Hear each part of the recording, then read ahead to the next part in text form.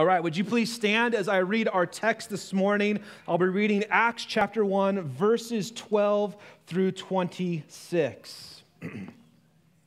then they returned to Jerusalem from the mount called Olivet, which is near Jerusalem, a Sabbath day journey away. And when they had entered, they went up to the upper room where they were staying Peter and John and James and Andrew, Philip and Thomas, Bartholomew and Matthew James the son of Alphaeus, and Simon the Zealot, and Judas the son of James. All these, with one accord, were devoting themselves to prayer, together with the women and Mary, the mother of Jesus, and his brothers. In those days, Peter stood up among the brothers. The company of persons was in all about 120, and said, Brothers, the scriptures had to be fulfilled, which the Holy Spirit spoke beforehand by the mouth of David concerning Judas, who became a guide to those who arrested Jesus. For he was numbered among us and was allotted his share in this ministry. Now, this man bought a field with the reward of his wickedness, and falling headlong, he burst open in the middle, and all his bowels gushed out and it became known to all the inhabitants of Jerusalem, so that the field was called in their own language Akeldama, that is, field of blood. For it is written in the book of Psalms, May his camp become desolate, and let there be no one to dwell in it, and let another take his office. So, one of the men who have accompanied us during all the time that the Lord Jesus went in and out among us, beginning from the baptism of John until the day when he was taken up from us, one of these men must become with us a witness to his resurrection. And they put forward two Joseph, called Barsabbas, who was also called Justus, and Matthias. And they prayed and said, You, Lord, who know the hearts of all, show which one of these two you have chosen to take the place in this ministry and apostleship from which Judas turned aside to go to his own place. And they cast lots for them, and the lot fell on Matthias, and he was numbered with the eleven apostles. This is God's word. You may be seated. Well, last week we looked at the very uh, opening verses to the book of Acts and we saw how Luke, the doctor, uh, told us about Jesus' final interaction with his apostles before he ascended back to heaven to be with the Father. We saw that Jesus had offered many proofs to his disciples to demonstrate that he, in fact, was risen from the dead, and that he also gave his apostles uh, some final instructions. They were to wait. How many of you guys love waiting? We love waiting? No, they were to wait and they were to wait for the Holy Spirit, which the Father would send to them. And upon receiving the Holy Spirit, they would be His witnesses, witnesses of Christ in Jerusalem, Judea, Samaria, and to the end of the earth. And as Jesus was taken back into heaven, they were given the promise that this Jesus, born, crucified, uh, raised, and ascended, that he would in fact return. We saw that we do not know the times, we do not know the dates, we do not know the specifics, we just know that he will return. And, and, and the disciples, the apostles, are left with the sense that you're not supposed to expect Jesus to appear anytime soon, like he had appeared to them after his resurrection. There's a finality to the ascension of Jesus, and this was the time for the apostles to get busy. And we talked about there was work to do, and, and that's where our text picks up today. They're left with this question okay, now what? He came, he suffered, he died, he rose. He offered many proofs. He told us to wait for the Holy Spirit that was going to come. He has ascended. What do we do now? And Luke describes which the church, what the church did in those very early days, why they were waiting for the Spirit to be sent. So there's three things that we're going to look at. And uh, I'll just say up front, these things are very basic. These things are very fundamental. These things are very ordinary and these things are very important, okay? They are very, very important. They are this prayer, okay? If you're a note taker, prayer, study, and preparation. Prayer, study, and preparation. Let's begin with prayer. Uh, it was not uncommon for the early church. What I mean by that is in the first century, it was not uncommon for the early church to find itself in unexpected and uncertain situations. Uh, in just a couple chapters, we're going to witness some incredible things in the book of Acts. We're going to see Peter stand up, he's going to preach a gospel. Thousands of people are going to come to faith in Christ, which is a huge blessing. And we're going to see it also presented the church with a challenge. Now that it has grown, there's all these people. What do we do with all the widows? How do we feed all the people who are part of this family? That's a challenge that they are going to face. You're also going to see that the apostles are going to be brought before the magistrate. They're going to be threatened. They're going to be beat up. They're going to be ordered not to preach the gospel. They're actually going to get thrown into prison. And there are countless challenges that the early church uh, needed to navigate. Challenges. Remember, they had never faced anything like this before. This was all new to them. And they're facing these challenges. They need to navigate these challenges with both uh, boldness and with wisdom. And in fact, we'll see as they navigate the challenges, they exhibit both boldness and wisdom. I think that um, this, the, the last year has, has put us in a position in which we are better able to appreciate some of what the early church was dealing with. We have had to navigate things we never thought we would have to navigate. We had to answer questions we never thought would be asked. We'd had to face things we never thought we would have to face. Some of you have, have suffered in different ways to different extents, but it has been difficult uh, for you. Some of you have suffered in unique ways. There's been times where you just scratch your head and go, Really? Is this happening?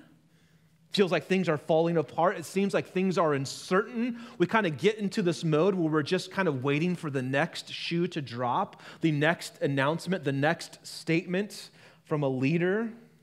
When we face these uncertain times, when we face things that are utterly new and unprecedented for us, what do we do? What can we do?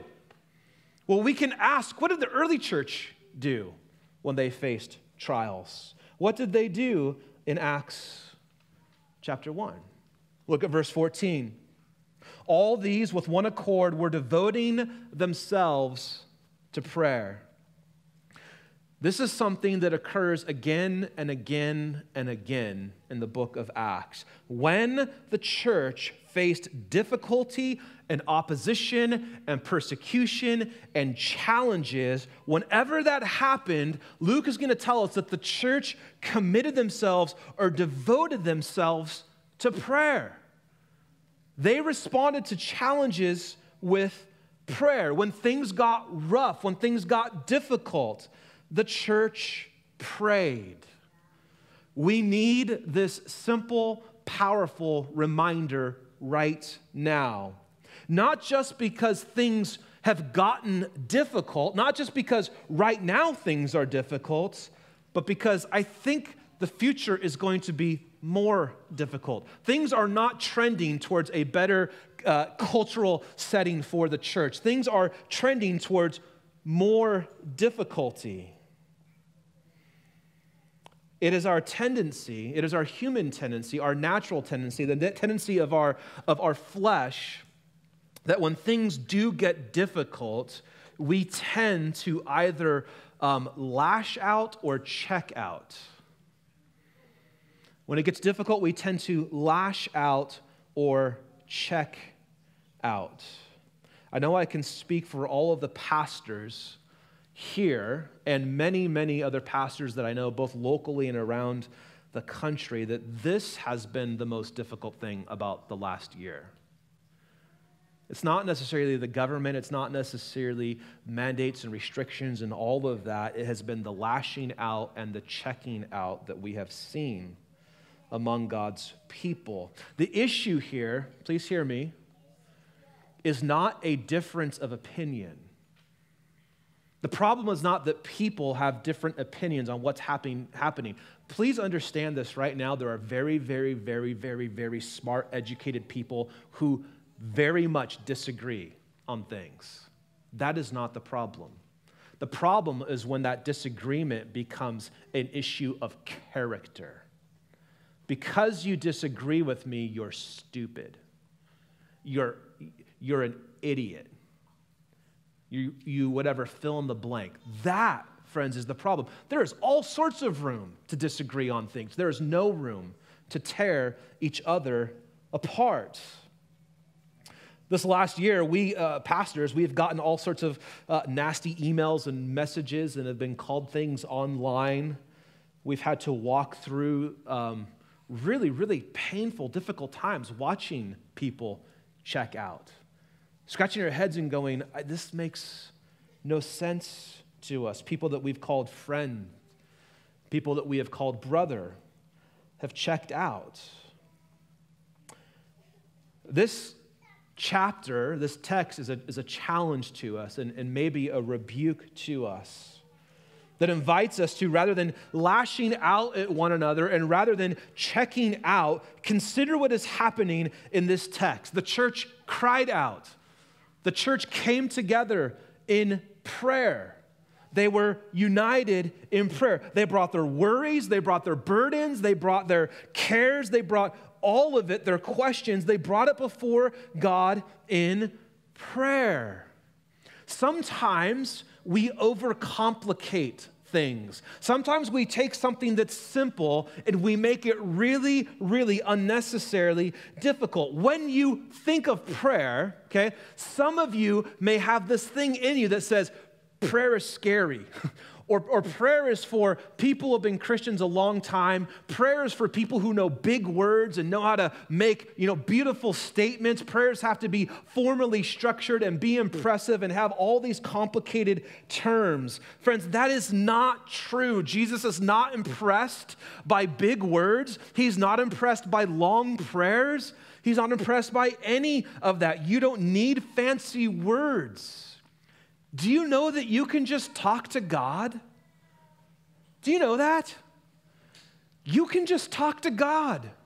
You don't have to have all the words. You don't have to have all the ideas. You don't have to have everything. You can just talk to God about whatever is on your heart. Every Christian can pray, and every Christian ought to pray.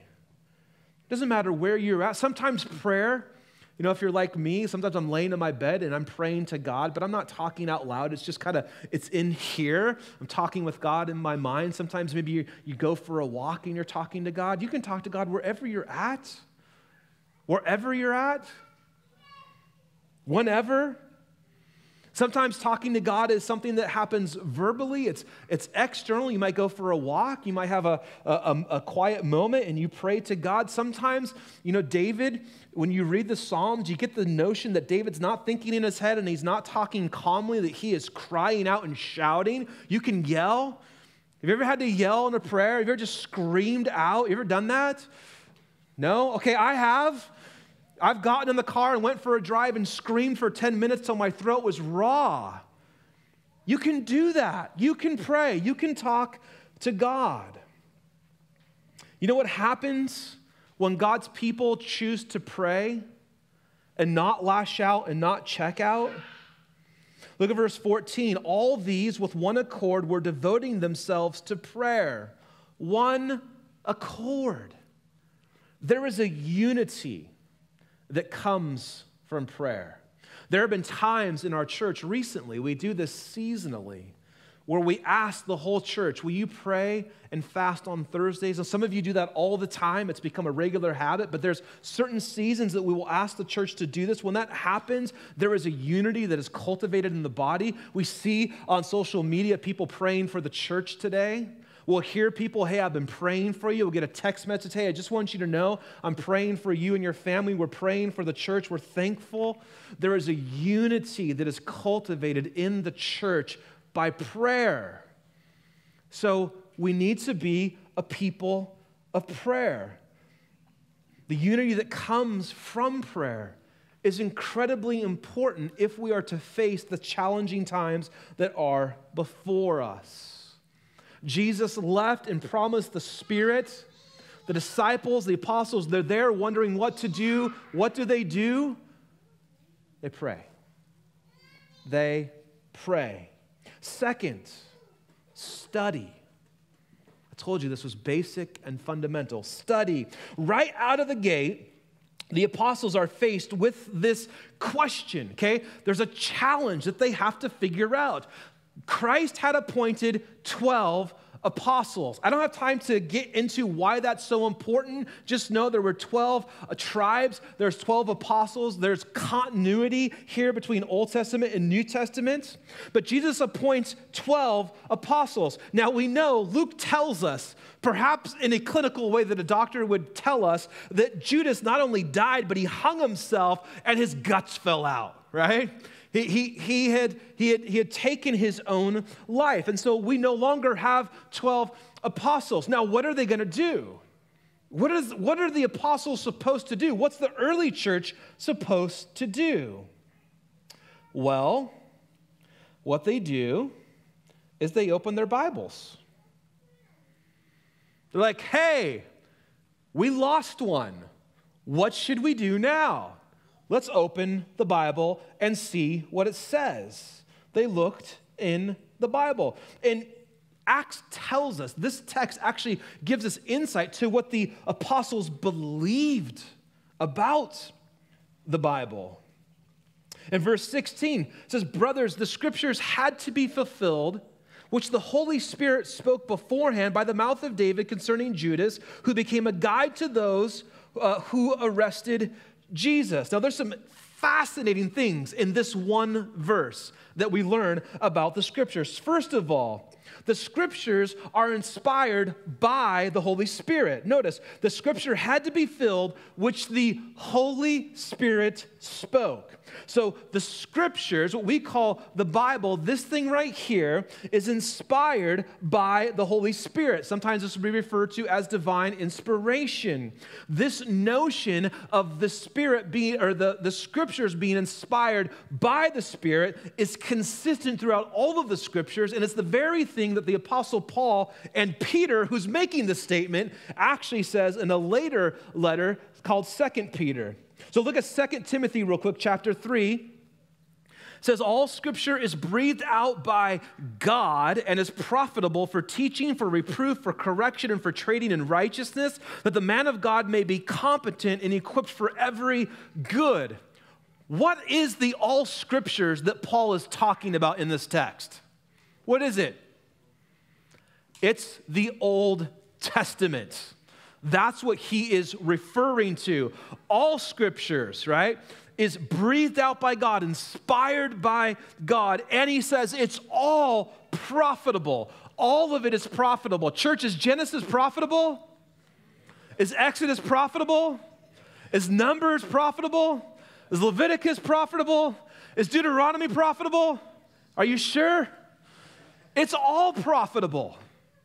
And it all is useful in the life of a Christian. Second Peter, knowing this, first of all, that no prophecy of Scripture comes from someone's own interpretation, for no prophecy was ever produced by the will of man, but men spoke from God as they were carried along by what?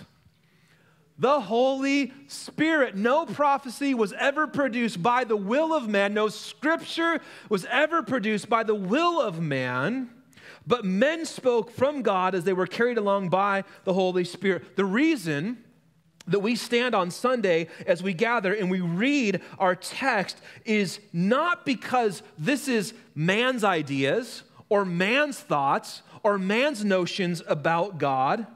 Rather, the Bible is God's word to man about Christ. If you want to know what the Bible is, it's God's word to man about Jesus. This is why we and Christians throughout history have believed in what is called um, inerrancy. That means that in our Bible, there are how many errors? Zero, right? There are as many errors in the Bible as there are Super Bowl wins for the Browns. Zero. None of them. We believe in inerrancy. We also believe in the doctrine of infallibility, meaning not only does the Bible not have errors, it is impossible for the Bible to have an error in it. Why? Because God is light and in him is no darkness. When God speaks, he tells the truth all the time. It is impossible for God to lie because God is truth. And so we have this inspired by the Holy Spirit, the inerrant, infallible word of God to us about Jesus. There is nothing in the world like your Bible. There's nothing in the world like your Bible, written by over 40 human authors, varying from kings to philosophers to people that we would consider blue collar construction workers, written over a period of about 1,500 years, three different languages Hebrew, Greek, and Aramaic, translated into over 3,000 different languages today. All of it, every word, every letter, every chapter, every book, inspired by the Holy Spirit and profitable to you. Profitable to you and to me. When we read the Bible, friends, we are hearing the voice of God. When we read the Bible, we are hearing the voice of God. This is why, when the apostles were faced with this challenge, what do we do with the death of Judas? They did not consult a growth management firm, they did not consult a PR expert, they did not find and do research on best practices for churches in their community. What did they do? They opened their Bible. They opened their Bible and expected God to direct them and give them wisdom. Friends, that's what we must do. If we are asking questions, open this thing first. Don't open your browser, open this thing, right? This thing will speak to you. And specifically, get this, they look to the Psalms. What's being quoted here is from the Psalms. Do you know that the most quoted Old Testament book in the New Testament is the Psalms? That the New Testament authors, they love the Psalms. They're always talking about the Psalms. They opened up the Psalms. Think about this. What should we do? Where should we look? Let's look to the book of Psalms. And when they opened the Psalms, they not only expected God to speak them because they knew that they were inspired of the Holy Spirit, they were not only committed to obeying what the Psalms said, but they think about the Psalms in a very unique way. A way that we need to learn to think about the Psalms. Again, look at verse 16. Brothers, the scripture had to be fulfilled, which the Holy Spirit spoke beforehand by the mouth of David concerning Judas, who became a guide to those who arrested Jesus. Now, this single verse will transform the way you think about your Bible. This verse is so chock full of truth, it will change everything. Brothers, the scripture had to be fulfilled, which the Holy Spirit spoke beforehand by the mouth of David concerning Judas. What was David talking about in the Psalms? The apostles tell us Christ, the life of Christ, even the betrayal and the arrest of Judas. What's David talking about the Psalms? He's talking about Jesus.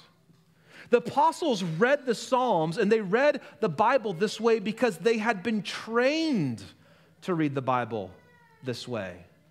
Jesus himself had trained them to read it like this. In Luke chapter 24, Jesus runs into some of his disciples. He's risen, they're not expecting it, they don't notice him, and he's a little bit frustrated with them, okay? And he says this beginning with Moses, okay? That is shorthand for the law, the book of the law. Genesis, Exodus, Leviticus, Numbers, Deuteronomy, beginning with Moses and all of the prophets. So Jesus is talking about Moses, the prophets, the whole thing, the Psalms together. And beginning with Moses and all the prophets, he interpreted to them in all the scriptures the things concerning what? Himself. The books of Moses are about who? The Psalms are about who? The prophets are about who? The whole Bible is about who? Okay, Jesus also said this to some Bible experts In John chapter 5, he rebuked them. You search the scriptures because you think that in them you have eternal life. And it is they that bear witness to who? To me. Yet you refuse to come to me that you may have life. What does Jesus teach about the Old Testament? That it's some outdated, useless book? That that was for the Jews in Israel, but not for Christians in the, in the first century? That it has no significance for a New Testament believer? No, Jesus said this the entire Old Testament, from beginning to end, is all about Him. And this is how the apostles related to their Old Testament. They opened up Psalms and looked for Christ. They read it trusting this was the inspired word of God, and they expected God to speak to them and to give them wisdom to navigate whatever it was they were dealing with. They expected to hear God's voice. Let me just ask a question real quick, okay? First of all, will somebody tell Brandon to turn the heat on because it's freezing in here? Is anybody freezing? Okay, it is freezing, okay? That's not in the text. First, here we go.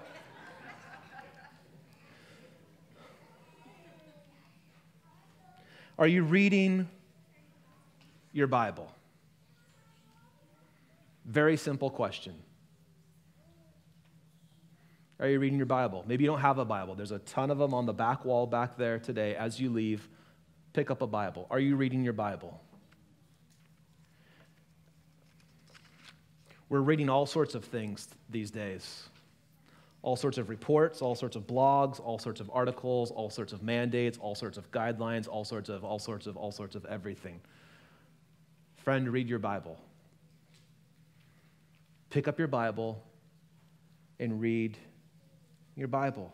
Now, I know some of you are like, yeah, yep, I need to be reading my Bible. And there's some of you that feel really intimidated by that. Like, uh, it's a big book. Some of you have study versions of the Bible that are like three times thicker than this, and you look at that and go, there's no way. I can't even watch a, you know, a short episode on Netflix. I get distracted. How am I supposed to read this thing?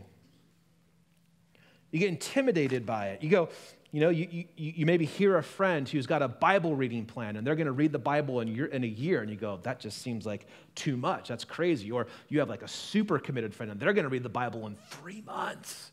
You're like, there's no way I can do that. Okay, if that intimidates you, just throw those things out the window. Just read your Bible. My son, he went, uh, went to youth group. He came back. He's all, Pastor Rustin said we should read the Bible. I'm like, yeah, sounds like a great idea. Where should I start? It's like, oh, you, you know, you could start with Luke. We're, we're going through Acts. That might be helpful. Or, or you could start with John. Or maybe you could read the book of Acts. There's not really, you know, it's not really a bad place to start, but those would be some good places to start if you just wanted to start. But here's the point just start. Just start reading it. Don't be intimidated. Make, make a small, attainable goal. Say, if you're not reading the Bible right now, make it a goal to read one chapter a week. Can you do that? One chapter a week. Start with that. Just one chapter a week. Take it slow. Maybe you want to start with the Psalms. Just read one psalm a week. And if you start reading it and you go, I have no idea what's going on, this makes no sense to me, I'm so confused, just know you're totally fine.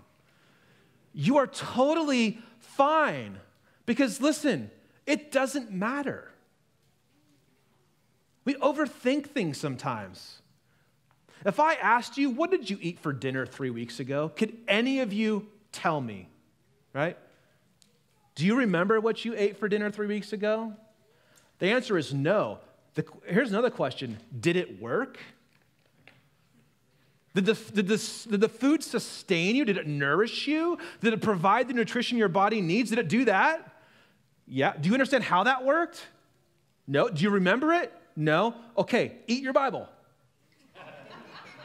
Just read it. If you don't understand, that's fine.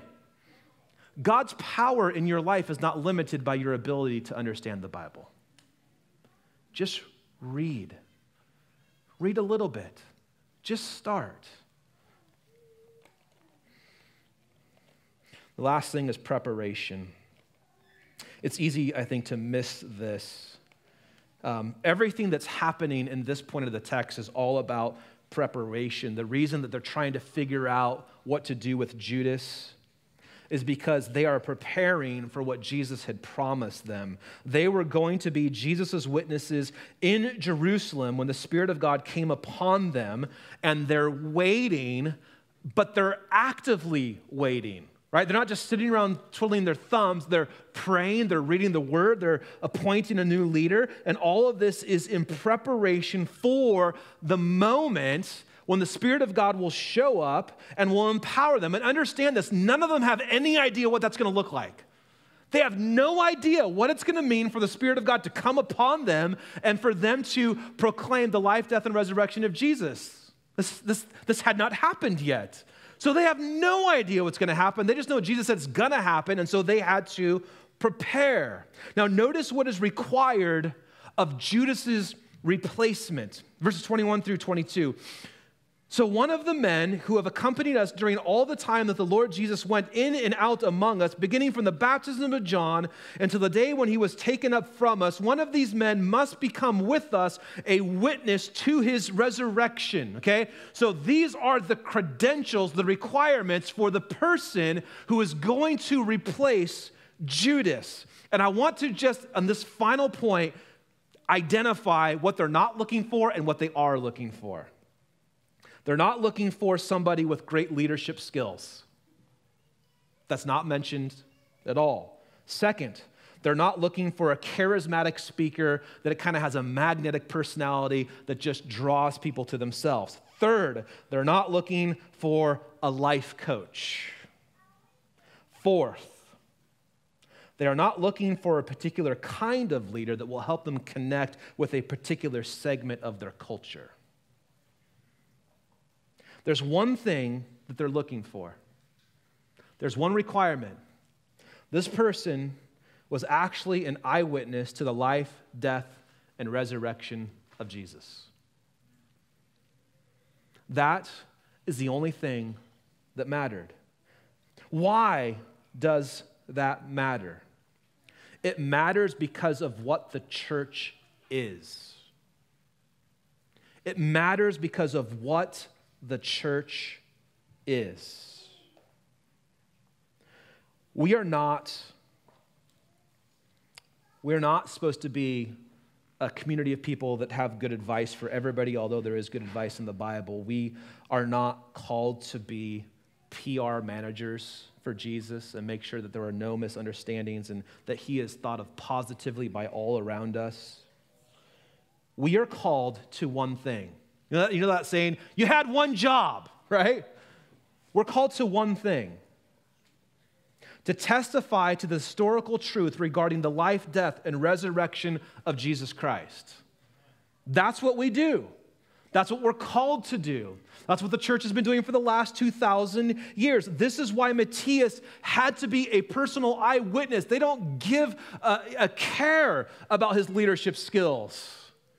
They care that he was a witness to the resurrected Lord because that is the message Christ crucified, buried, and raised. That is the message. It's the message the church tells over and over and over again. It's the message they will preach throughout the book of Acts over and over and over again. It is the story that we are telling today over and over and over again. The church is a one trick pony. We are a broken record. We have one thing Christ risen. That's what we say. And this movement in Acts, this moment is preparing to bear witness to the resurrected Lord. Let me ask you are you prepared? Are you prepared to say, Christ died for your sins, he was buried, and he rose on the third day in victory over sin and death. Are you preparing for that? That's what we are to be preparing for. We are to prepare to be his witnesses and understand God will do this in different places, in different times. He will not ask you if you're ready, He will not consult you for your calendar, but God will show up and He will open up opportunities. He will put you in places to have conversations. And friends, we have to be ready not to give some complicated explanation, but simply to say, Christ is Lord and He's risen. This week, I went to get my wife some coffee at the Coffee Oasis, and I'm minding my own business. And, and God's like, No, you're going to have a conversation about the resurrection. So I get in this conversation with a young man who's flirting with the baristas, and, and he wants to talk about the resurrection. And he grew up in the South, and it was shoved down his throat, and he doesn't think Jesus actually rose from the dead. And so, so we went there and we talked about it and we talked about the resurrection. And I said, if I give you a book, would you read it? He said, yeah. I said, can I leave it with the baristas here? And because I kind of get the idea that you come here on a regular basis. And, um, and he agreed. And okay, I wasn't looking for that. But God was on the move. Friends, we have to be prepared. So when those unexpected opportunities arise, we're ready to proclaim. Jesus Christ, King of kings, Lord of lords, crucified and risen on the third day according to the scriptures. This morning, that is what we proclaim. If you do not know Christ this morning, you are invited to trust in him. There is forgiveness in his name. Jesus saves to the uttermost. Let's pray. Lord, we are both convicted and inspired as we think about this text in Acts. We ask that you would give us this deep unity in prayer, that you would make us a people of the word, a people who search your scriptures. Would you prepare us to testify to the simple truth of your death and resurrection? And even now, Lord, we pray that you would be arranging moments for us this week to share that good news. Give us eyes to see the opportunities you put before us and give us boldness to speak the truth. It's in Jesus' name we pray. Amen.